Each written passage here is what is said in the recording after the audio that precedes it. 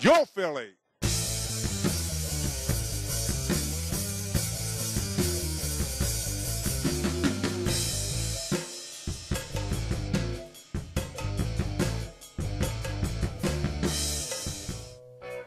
Hello, everybody. I'm Jen Sherlock, and you're watching the second installment of Yo Philly. Chenoa Greene is holding out for a new contract this week, but we're optimistic that she'll be back soon because if the Eagles could keep Donovan McNabb happy, then anything is possible. But more on Chenoa in a few moments. A lot has happened since we launched the site on June 3rd. Philly2Philly.com has received a warm reception from the masses, receiving close to 30,000 page views in the first three weeks. Joe and Dennis have been hard at work each and every day, leading a talented team that is getting better every week. The team has been covering everything from the Preston and Steve blood drive to helping those who are victims of the economic crisis with Project Dig, which can be found on our politics community page. I also hear Joe and Dennis are being recruited by Mayor Nutter to oversee the overhaul of the city government. Maybe, just maybe, we'll actually be able to go into the city without paying $20 to park for an hour and a half. Philly2Philly.com held their launch party on June 3rd at Benny the Bums in South Philly. And as you can see, it was quite an opening as Philly to Philly entered the online arena with a bang. NFL great Jon Runyan and St. Joseph's basketball coach Phil Martelli dropped by to show their support. And Philadelphia sportscasting legend Dan Baker provided the introductions for Joe and Dennis, who took a moment to thank everyone for helping them make their dream a reality. For this evening, Joe Valley and Dennis Baker. Uh, when I look out here tonight, I see a lot of hard work, dedication, blood, sweat, and tears on behalf of myself, on behalf of Dennis, on behalf of everybody at Philly2Philly.com. Uh, it's been a long run. It's it's been a crazy run. We've been working on this since April of last year. If you would have told me a year ago when we were forming this website that so many people would have come out to support us, I would have thought you were crazy. We had extreme confidence in us in this project from the beginning, but I want to thank you, everybody, from the bottom of my heart for coming out tonight. Not one to rest on their laurels, Philly to Philly also recently covered the Wizard World Convention, which took place at the Philadelphia Convention Center. We sent our own Chenoa Greene there to check it out. Let's see what trouble she got into.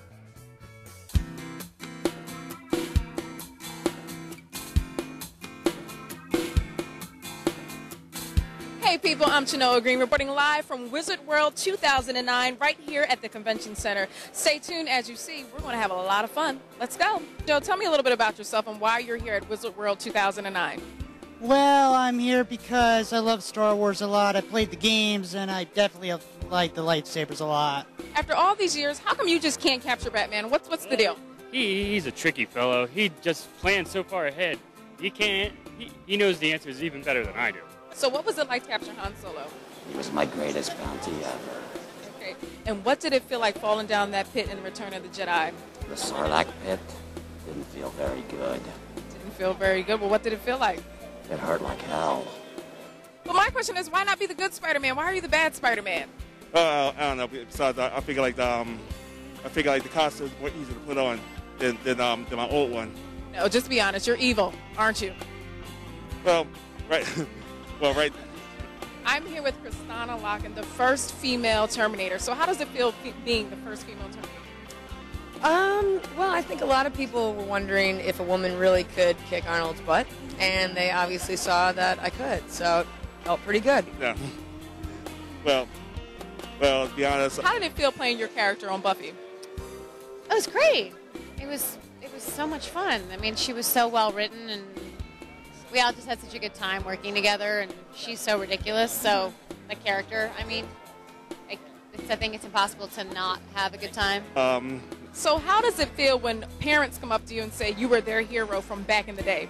It feels great because it brings a lot of joy, a lot of hope, a lot of excitement, and also it transcends into the, uh, the next generation because, you know, when they were kids, watching the show gave them a great feeling knowing that G versus E. Um, the black suit does feel good, and um, hopefully, hopefully some females. Um, I know some females um, are, are turned on with turn on. Oh, we like the black. Okay, I see that. I do. I like the black. Well, guys, as you can see, Wizard World is full of all the excitement, and we just had a great time here. It's a wrap. I'm about to go learn how to do some sword fighting. Let's go. Thanks, Chenoa. What we didn't catch on camera was Joe challenging Lou Ferrigno to an arm wrestling match. Turns out Joe actually won, but Mr. Ferrigno's legal team sent us a cease and desist letter asking us not to air the footage for fear of embarrassing the legendary strongman. Oh well, it's not the first time Philly to Philly received something like this before. Chenoa's full-length interviews with the Wizard World guests can be found on the Yo Philly page at Philly2Philly.com.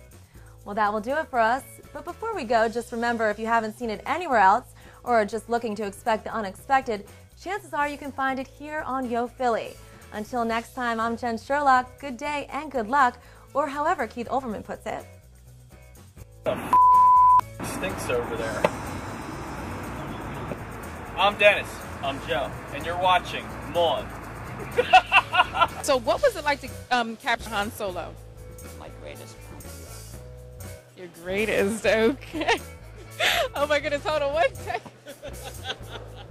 Chenoa Greene is holding out for a new contract this week, but we're optimistic that she'll be back soon because if the Eagles can keep Monovan. Monovan. Hello, Monovan. Monovan McDad. Monovan. Monovan.